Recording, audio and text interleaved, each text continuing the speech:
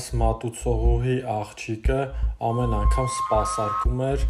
էս վատ պապիկին ու տասնհինգ տարի հետո ստացավ ամենամեծ չայևոյները: Էս աղջիկը իր սաղ կյանքը աշխատում էր կաֆեում ու իր աշխատանքը իրա դուրը շատ էր գալիս: Տասնհինգ տարի ամեն օր կաֆե էր գալիս այս պապիկը: Բոլոր օֆիցիանտները հրաժարվում էին սպասարկեին այս պապիկին, որովհետև պապիկը ուներ շատ վատ խառակտեր: Բացի այս աղջկանից, այս աղջիկը միշտ պապիկին դիմավորում էր ժպիտով ու հետաքրքրվում էր ոնց ա իրա գործերը: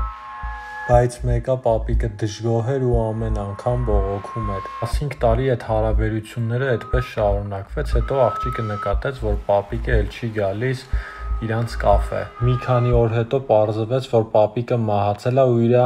ամբողջ հարստությունը թողել է այս աղջկան: Ինքը չուներ վաբշե բարեկամներ, իր սաղ հարստությունը՝ տունը, ավտոն, գումարները, սաղ թողեց էդ աղջկան: